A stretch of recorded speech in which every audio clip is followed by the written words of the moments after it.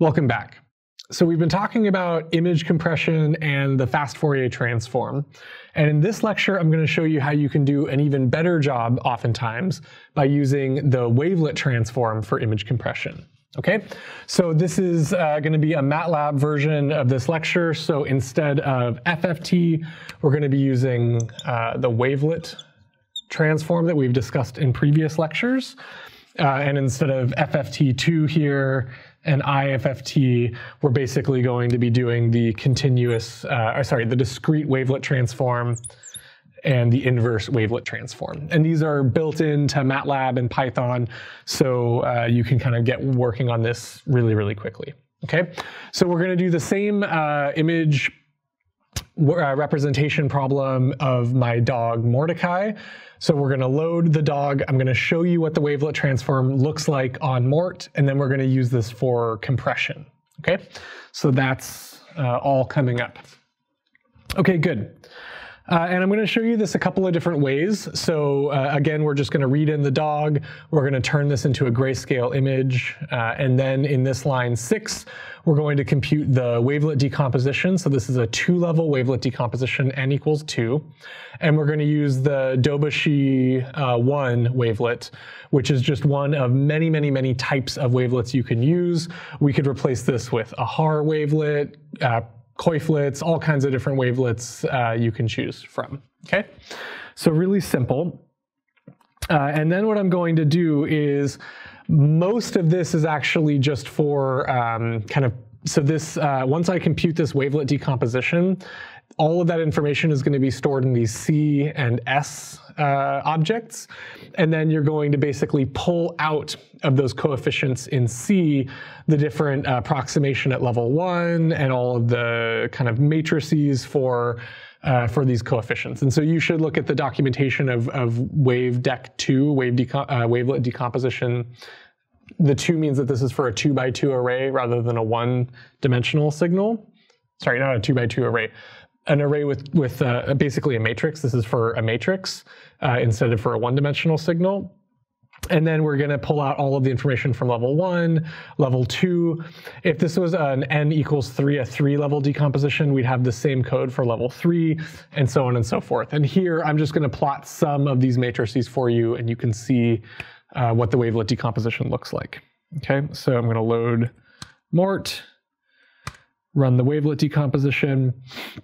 And this is, uh, this is what you get. So there's a lot going on here. I'm going to try to walk you through this, um, but this is a very kind of shallow treatment of the wavelet decomposition. So you're going to have to dig a little deeper and, and read some uh, documentation if you really want to figure out what all of these matrices mean and how to use them.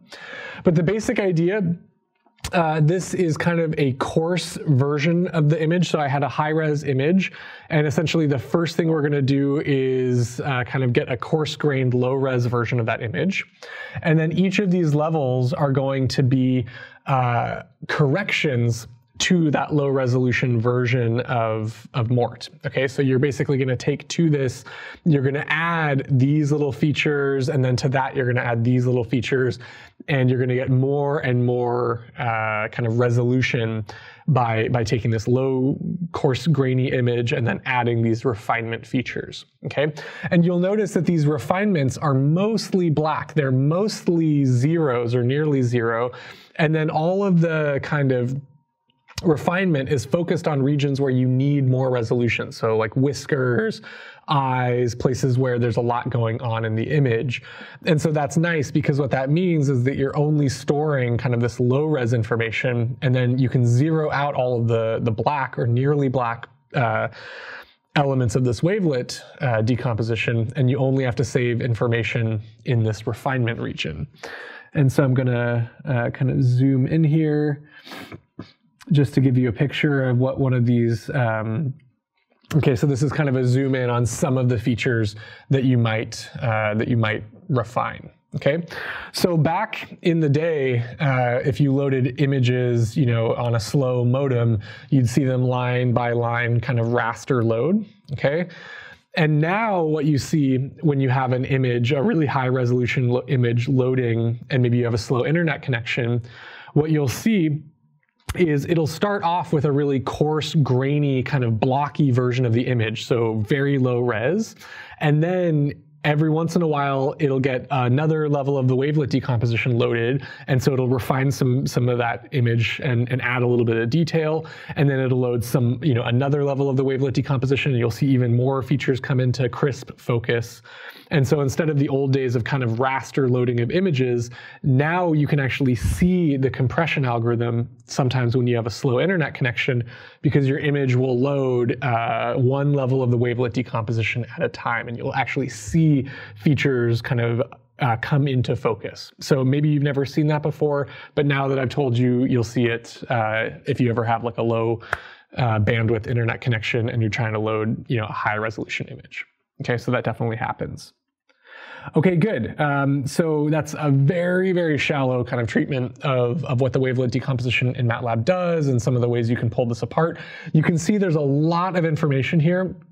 So I definitely recommend you check out the documentation, kind of read up on this if you want to actually use this for anything. Um, and you know, try different different wavelets. Try a Haar wavelet. Try try other kinds of wavelets and see if they do better or worse um, and how how they perform. Um, there is a nice code you can download uh, on, on the, the MathWorks exchange called Plot Wavelet 2 that basically does everything I did in my previous code, but in one line. So if you run this code, uh, it basically generates um, that low res image and then all of these wavelet refinements um, at, at higher, higher resolution. So I think that's kind of nice. Okay, good. So finally, what we're going to do is we're going to use this for compression. So just like in the Fourier transform, we found that many, many of those Fourier coefficients were nearly zero and we could throw them away. We're going to do the exact same thing in the wavelet transformation. So lots of those coefficients are nearly zero and we can throw them away and still have a really faithful representation of our original image. In fact, that's the basis of the JPEG 2000 image compression. It's kind of a better version of Fourier compression using wavelets. It's wavelet compression. Okay, so same exact thing as before. We're going to have our dog. We're going to compute a, in this case, four uh, layer wavelet decomposition. So we're going to have kind of really coarse and then medium, higher, and highest resolution refinements. And just like before, what we're going to do is we're going to sort these wavelet coefficients. Again, this is a big array of wavelet coefficients. We're going to sort those and we're going to keep the first 10%, the first 5%, the first 1%, and the first 0.5% largest wavelet coefficients, and threshold everything else out to zero and see how good those images are even when we massively compress uh, and throw away as many wavelets uh, coefficients as we can. Okay, um, so basically just like the Fourier image compression example, except now we're doing wavelet decomposition. So I'm going to run this. And we're going to see uh, kind of my dog Mort at different levels of wavelet compression. Okay. Now, if you're doing this at home, I would highly encourage you to do to run this code and also to run the FFT2 version of this code where you compress using the Fourier transform and kind of do a head-to-head -head comparison to see at 1% which of these images actually looks better. Okay. So that's that's really the the proofs in the pudding. You actually have to you know, run this side by side against the fast Fourier transform version and see if I only keep 1% of my wavelet coefficients or 1% of my Fourier coefficients, which of these images looks better. Now, I think that actually the wavelet compression is doing a much better job here. This is more faithfully capturing uh, fine resolution details of Mort. You know, um, his tail and the whiskers and, and you know, uh, what I would consider high resolution or high frequency components like fur and hair and edges that's what wavelets are really good at is capturing those kinds of things. And so um, at least i've convinced myself that it looks better here. Okay? Now at 0.5% if you remember in the fft example i went all the way down to 0.2% but here if i go if i compress too far in wavelets it all kind of breaks down so I'm actually going to show you if I only if I kept only 0.002. So if I go even farther, what you're going to find is uh, it's running. Now I've like massively overcompressed. I've killed major big features of Mort that uh, you know it's kind of garbage at this point. So that's um, a concern, but I would say that you know even keeping uh, only the first 0.5%, that's a 200 times compression, and it looks really, really good. Um, you know, very accurate representation of, of Mort. Okay, good. So that's image compression using wavelets. Uh, I encourage you to try this out yourself. It's super easy to use. Um, yeah, and you know, try different different uh, wavelet and different mother wavelets. Try uh, you know Haar wavelets and Coiflets and other other kinds, and kind of see how it works. Okay, thank you.